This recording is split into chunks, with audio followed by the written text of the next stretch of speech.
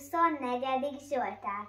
Az Úré a föld és annak teljessége, a föld kereksége és annak lakosai, mert ő alapította azt a tengereken, és a folyókon megerősítette.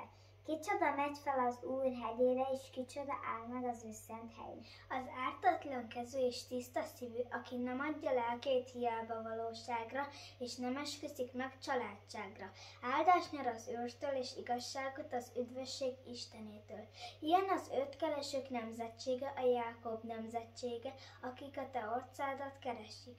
Ti kapuk, emeljétek fel fejeiteket, és emelkedjetek föl, ti örökkévaló ajtók, hadd menjen be a dicsőség királya. Kicsoda ez a dicsőség királya? Az erős és hatalmas úr, az erős és hadakozó úr.